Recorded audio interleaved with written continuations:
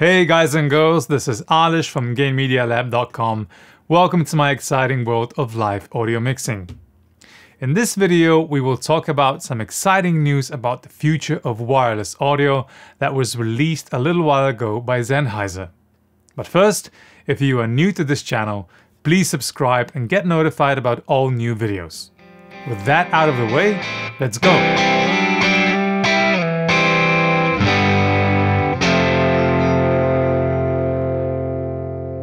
In March of 2023, Sennheiser launched a press release about their upcoming vision for the future of wireless audio.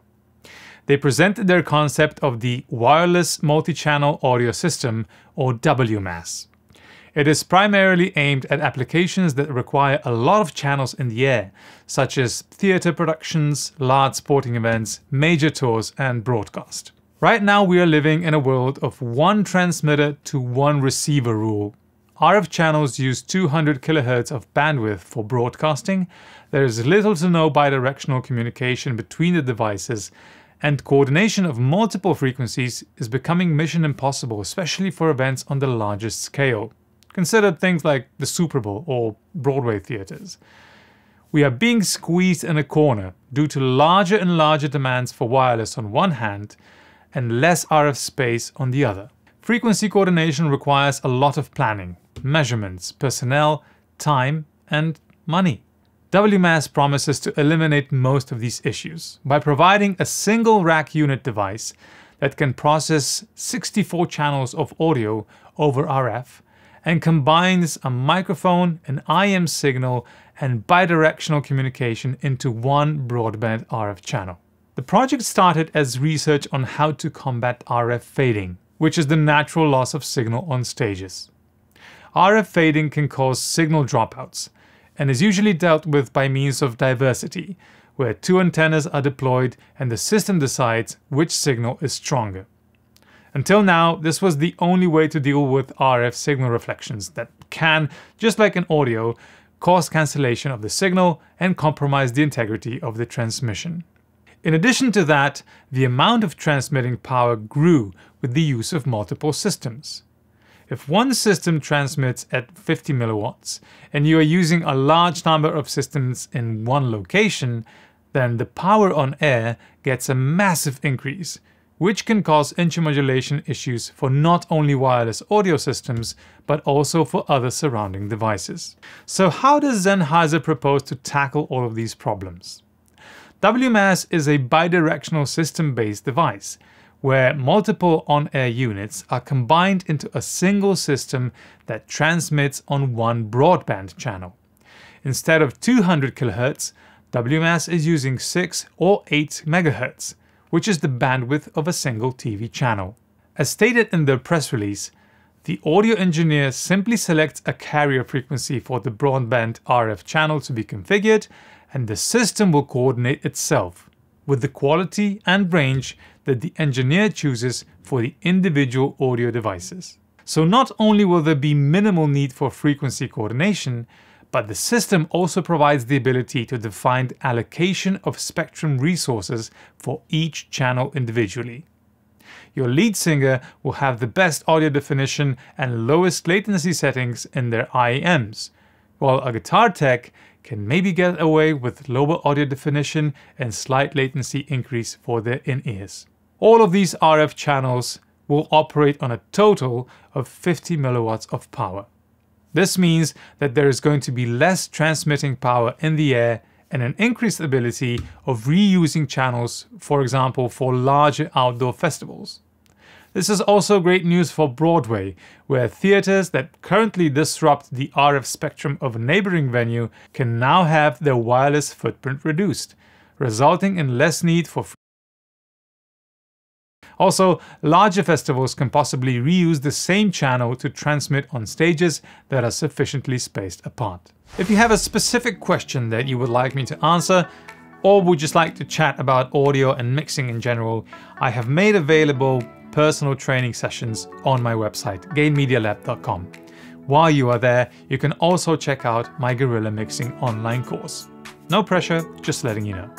Until now, we had to use separate frequency ranges for microphones and IEM systems to achieve best results. With WMAS, not only do they reside in the same TV channel, they coexist in the same belt pack unit. Since WMAS is bidirectional, Sennheiser is designing a transceiver unit, which performers can use for microphones and IEM systems in the same pack. This also means that Sennheiser is expanding their range of IEM systems with a digital range, which means that this technology will probably be more widely available in the following couple of years. Now, the feature I'm really excited about is the dynamic resource allocation. Since all devices in the system talk to each other through remote control and communication, it will be possible to create scenes for your resources. Imagine a festival where one band is playing and the other is setting up. The resources go to the performing band, while the units of the artist setting up can be discovered by the system and just confirmed that they are turned on and give you maybe a battery check status. When it is time for a changeover, the operator can simply swap the allocated resources, giving priority to the new band on stage. This is huge in terms of coordinating systems on festivals between performers and prevents issues where someone accidentally turns on their system too soon, affecting the performers on stage. Another really important factor is the omission of diversity. All of the bidirectional transmission and communication will be done with a single antenna, because the broadband transmission channel is much less susceptible to signal drops, due to the 30-fold diversity on 6 MHz and over 40-fold diversity on 8 MHz.